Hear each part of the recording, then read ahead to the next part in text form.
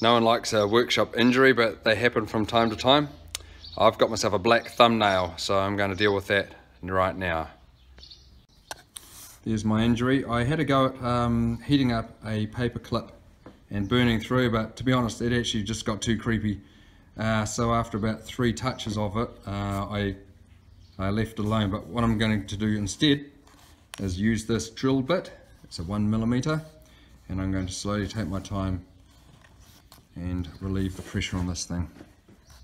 At the moment it is very sore and uh, it's affecting my ability to do some jobs so uh, this is very creepy and I'm not enjoying it but the pain is quite sore. It's probably 7 out of 10 maybe 6 out of 10 I don't want to exaggerate it but I've done this once before and had great relief basically the blood is pooling underneath my nail putting pressure on the thumb underneath it. So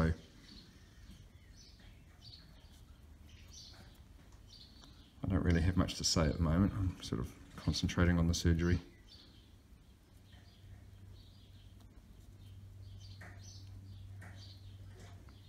I'm just applying a little bit of pressure. Uh, to be honest there's no way I would be doing this with a power tool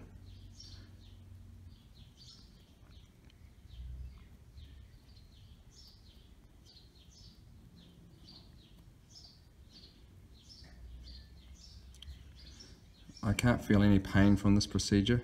Nails are pretty tough. What I am hopeful of is that once I get through the nail, I'll get some relief by easing the pressure build up underneath the nail.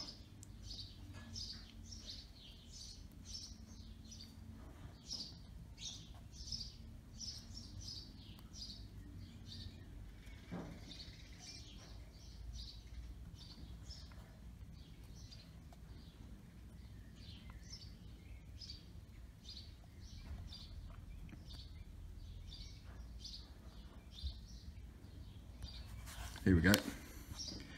And I can tell you that was creepy, but the pressure has gone to probably, or the pain is probably now three out of 10. Because honestly, it didn't, it didn't hurt. I'll just give that a clean, hang on.